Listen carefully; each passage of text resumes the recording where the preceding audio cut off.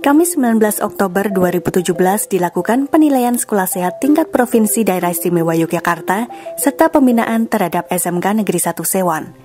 Kedatangan tim verifikasi sekolah sehat tingkat Provinsi Daerah Istimewa Yogyakarta di SMK Negeri 1 Sewon disambut langsung oleh Kepala SMK Negeri 1 Sewon Dr. Anda Haja Sudaryanti beserta guru dan muspika Kecamatan Sewon.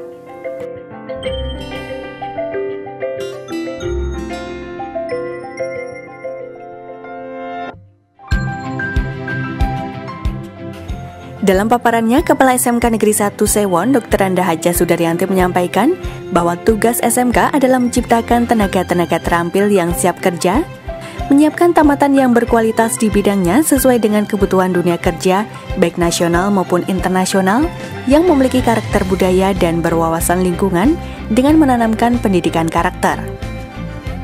Salah satu program yang masuk dalam misi sekolah adalah melaksanakan sekolah sehat dengan pembiasaan perilaku hidup sehat dan bersih. Bupati Bantul Haji Suarsono dalam sambutannya menyampaikan terima kasihnya kepada tim penilai atas verifikasi dan pembinaan yang telah diberikan terhadap pelaksanaan UKS yang kesemuanya merupakan upaya bersama mempersiapkan investasi pembangunan bangsa sekaligus untuk mencetak sumber daya yang unggul. Dikatakan Bupati Bantul bahwa kegiatan ini dapat meningkatkan kesehatan peserta didik dan menciptakan suasana yang sehat. Sangat mengucapkan terima kasih kepada Ibu Kepala Sekolah, staf semua. Ya, saya melihat lingkungannya memang sudah bersih, pantas untuk dinilai ke tingkat nasional.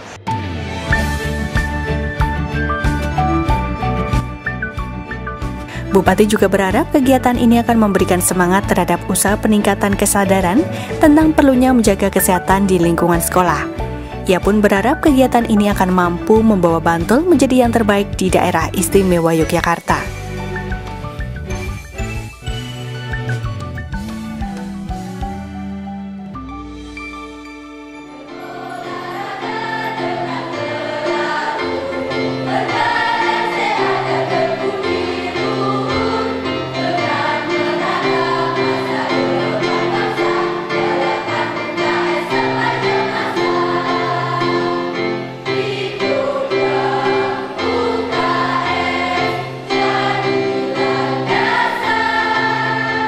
Hari ini sekolah SMK 1 Sewon dilaksanakan uh, penilaian sekolah sehat tingkat daerah istimewa Yogyakarta. Beberapa persiapan yang kami lakukan.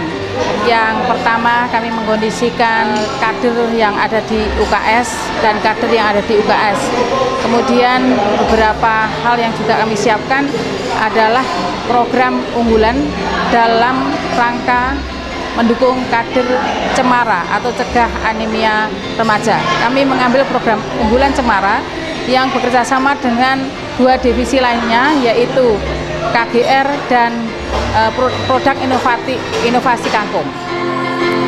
Tia Susanto, Puspadanta melaporkan.